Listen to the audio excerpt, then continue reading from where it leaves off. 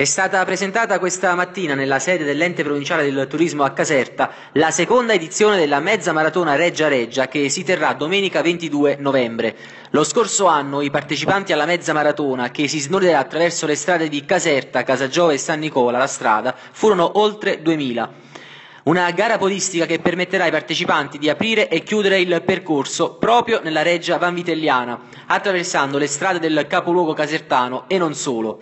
Le amministrazioni delle tre città a tal proposito hanno aderito all'invito degli organizzatori concedendo il loro patrocinio alla manifestazione.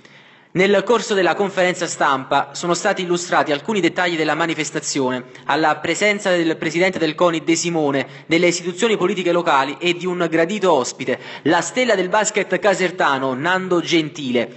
Un evento internazionale ha ricordato il testimonial di eccezione, indimenticato ex play della Fonola Caserta, vincitrice dello scudetto nel 1991.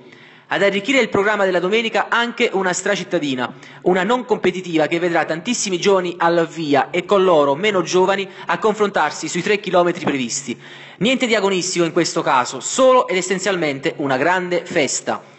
Visto che soprattutto i master saranno i protagonisti della mezza maratona e visto che proprio quella di Caserta è stata la provincia dove è nato e si è sviluppato il settore, facile dire che il 22 novembre la corsa correrà in casa e la casa sarà reale, decisamente reale.